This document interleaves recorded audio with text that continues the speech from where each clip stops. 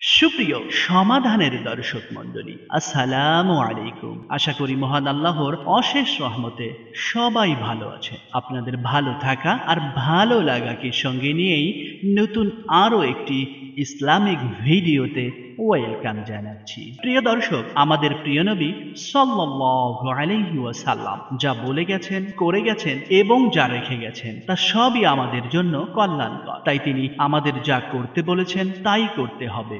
এবং যে বিষয়গুলো নিষেধ করেছেন তা পরিহার করতে হবে। আর আজকে আমি আপনাদের সাথে এমনই দশটি নিষিদ্ধ বিষয় সম্পর্কে আলোচনা করতে যাচ্ছি। তাই এই বিষয়ে বিস্তারিত জানতে চাইলে ভিডিওটা না টেনে শেষ পর্যন্ত দেখতে থাকুন।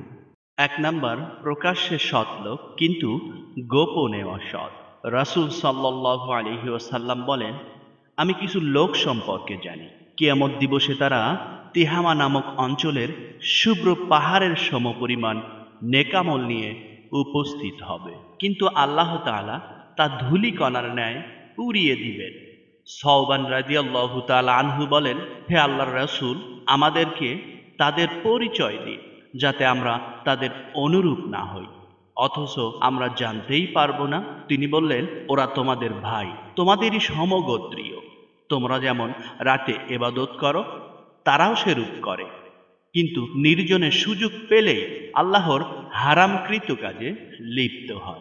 দুই নাম্বার, মানুষের জমিন দাবিয়ে নেওয়া। যে ব্যক্তি অন্যায়ভাবে মানুষের অর্ধহাত পরিমাণ জমিন দাবিয়ে নেবে, আল্লাহ কিয়ামত দিবসে সেখান থেকে সাত তবক পরিমাণ জমিন তার গলায় বেরি আকারে পরিয়ে দেবেন। তাই প্রিয় দর্শক, আপনারা যারা কৃষি কাজ করেন, তারা অবৈধভাবে অন্য ক্ষেতের আইল কাটা থেকে বিরত থাকুন। বিশেষ করে যারা আমিন অথবা জমি বাড়ি মাপামাপির কাজ করেন তাদের অনুরোধ করে বলছি, অন্যায়ভাবে টাকার বিনিময়ে একজনের জমিন আরেকজনের মধ্যে ঢুকিয়ে দিয়ে পরকালের শাস্তির ভাগী হওয়া থেকে বিরত থাকুন।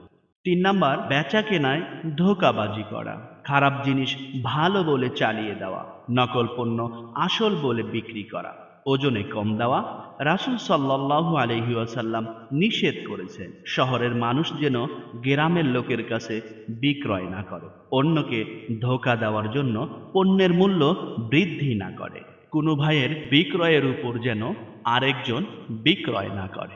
চার নাম্বার, প্রতিবেশীকে কষ্ট দেওয়া। ইসলাম প্রতিবেশীর অধিকার রক্ষা করার নির্দেশ দিয়েছেন।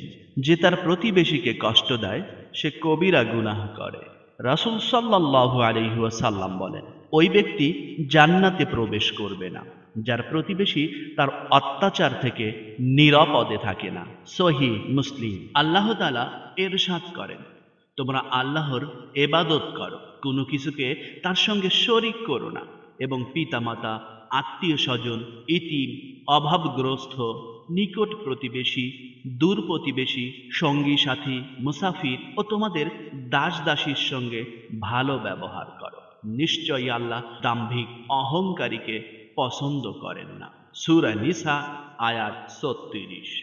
পাঁচ নাম্বার, গুপ্তচর বৃত্তি। যে ব্যক্তি গোপনে মানুষের কথা আরই পেতে শোনে, অথচ তারা সেটা পছন্দ করে না, অথবা তা থেকে বেঁচে থাকতে চায়, তাহলে কিয়ামত দিবসে সীসা গলিয়ে গরম করে তার কানে ঢালা হবে।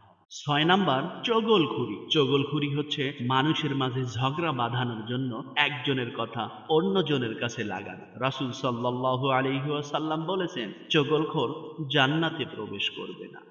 সাত নাম্বার, স্বামী স্ত্রীর গোপন বিষয় ফাঁস করা। কিয়ামত দিবসে আল্লাহর কাছে সর্বাধিক নিকৃষ্ট হচ্ছে সেই লোক, যে নিজ স্ত্রীর সাথে সহবাসে লিপ্ত হয়, অতপর তাদের গোপন কর্মের বিবরণ মানুষের কাছে প্রকাশ করে দেয়, মুসলিম।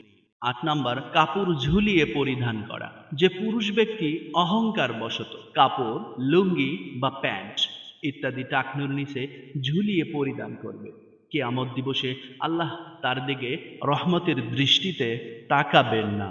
নয় নাম্বার, অধীনস্থদেরকে ধোকা দেওয়া। কোনো বান্দাকে যদি আল্লাহ তালা শাসন ক্ষমতা দান করেন, আর সে এমন অবস্থায় মৃত্যুবরণ করেন যে অধীনস্থ প্রজা বা নাগরিকদের ধোকা দিয়েছে, তবে আল্লাহ তালা তার জন্য জান্নাতকে হারাম করে দেবেন। দশ নম্বর, মসজিদে এসে হারানো বস্তু খোঁজা। কাউকে যদি হারানো বস্তু মসজিদে এসে খুঁজতে দেখো বা সে সম্পর্কে ঘোষণা করতে দেখো, তবে বলবে, আল্লাহ করে বস্তুটি তুমি খুঁজে না পাও, কেননা মসজিদ এ উদ্দেশ্যে বানানো হয়নি। প্রিয় দর্শক, তাই আসুন আমরা সবাই, প্রিয় রাসূল সাল্লাল্লাহু আলাইহি ওয়াসাল্লামের নিষেধগুলো মেনে চলি। মহান আল্লাহ তাআলা আমাদের সবাইকে তৌফিক দান করুন, আমিন। এই প্রত্যাশা করে আমাদের আজকের আলোচনা এখানেই শেষ করছি। খোদা হাফেজ।